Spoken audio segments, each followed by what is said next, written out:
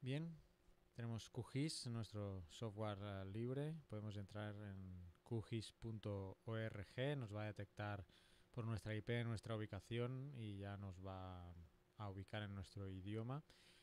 Solamente bajamos y le damos a descargar. Eh, solamente puntualizar que actualmente van por la versión 2.12.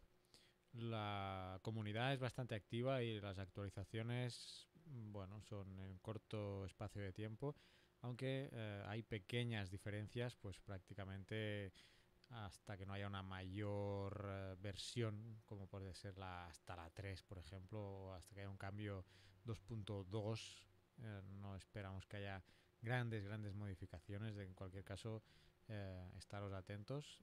Y de momento estamos trabajando con la versión 2.12, la versión Lion. Descargamos.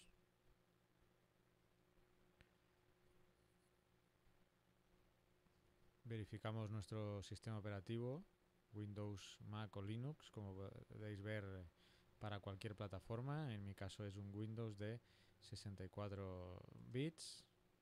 Y esto ya nos lleva al ejecutable para uh, descargar directamente eh, que queramos. Yo ya lo tengo descargado, así que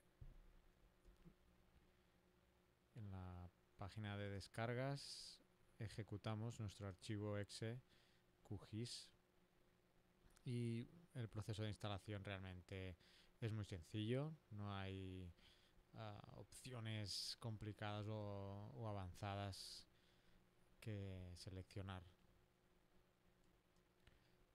Permisos de administrador.